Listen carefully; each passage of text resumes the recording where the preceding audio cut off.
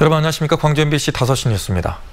5.18 광주 민주화운동 진압 책임자 중 한 사람인 노태우 씨의 아들 노재헌 씨가 5.18 묘지를 찾아 희생자들에게 사죄했습니다. 국립 5.18 민주묘지에 따르면 노재현 씨는 지난 23일 오전 11시쯤 묘지를 찾아 참배단에서 헌화와 분양을 하고 윤상원 열사와 박관현 열사 묘역 등을 돌아봤습니다. 재현 씨는 방명록에 희생자와 유족분들께 사죄드리며 5.18 민주화운동 정신을 가슴 깊이 새기겠다고 적었습니다. 재현 씨와 동행했던 한 인사는 노태우 씨가 평소 5.18 묘역에 가서 참배해야 한다고 수차례 얘기했지만 노 씨의 병세가 악화되자 아들인 재현 씨가 대신 온 것이라고 전했습니다.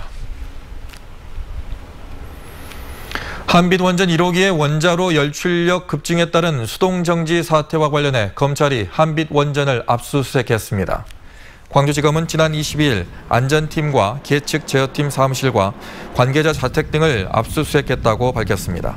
검찰은 감독자 지시가 없었는데도 무자격자가 제어봉을 조작한 경위 등을 집중 조사하고 있는 것으로 알려졌습니다.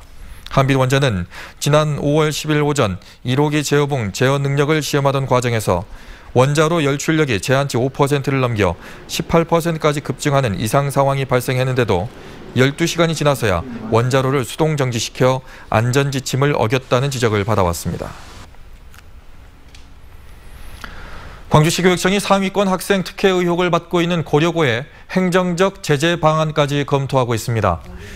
장회국 광주시 교육감은 오늘 간부회의에서 최상위 학생에 대한 특혜가 감사를 통해 상당 부분 사실로 밝혀졌는데도 학교 측이 오히려 교육청을 비난해 안타깝다며 징계 요구뿐 아니라 여러 제재 방안을 검토하라고 관련 부서에 주문했습니다. 시교육청은 고려고가 최상위권 학생들을 특별 관리한 사실이 드러났다며 전체 교원의 80%를 징계하거나 행정 처분하도록 요구했고 고려고는 이에 대해서 불공평한 감사였다며 반발하고 있습니다.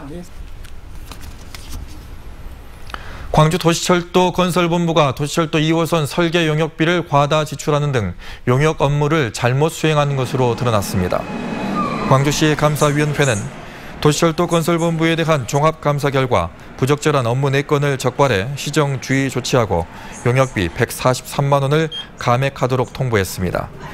감사 결과 도시철도 건설본부는 2호선 실시 설계 용역 과정에서 차량 기지 면적이 감소했는데도 용역비 143만 원을 과다 지급하는 것으로 나타났습니다.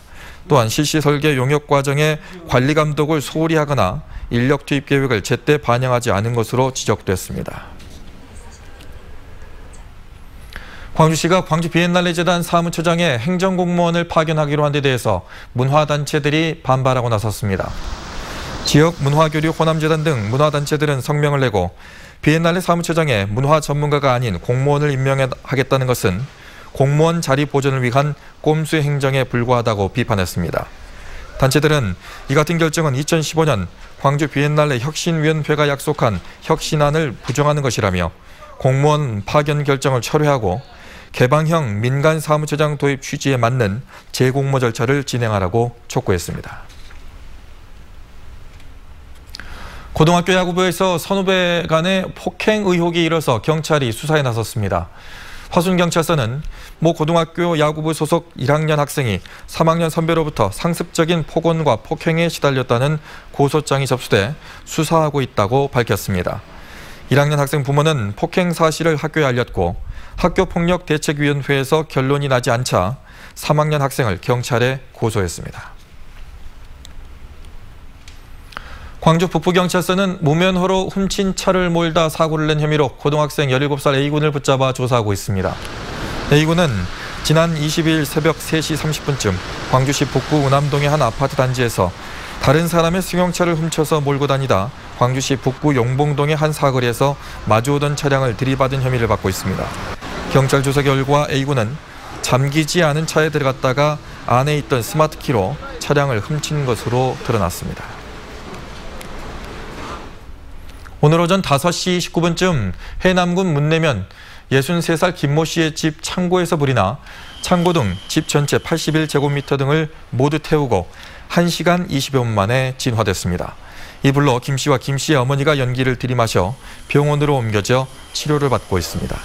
경찰과 소방당국은 창고 안 고추 건조기에서 시작된 불이 집 전체로 번진 것으로 보고 정확한 화재 원인을 조사하고 있습니다. 추석 명절을 앞두고 광주 상생카드 10% 특별 할인이 확대됩니다. 광주시는 선불형 광주 상생카드에만 적용됐던 10% 특별 할인 대상을 다음 달 1일부터 체크카드까지 확대한다고 밝혔습니다.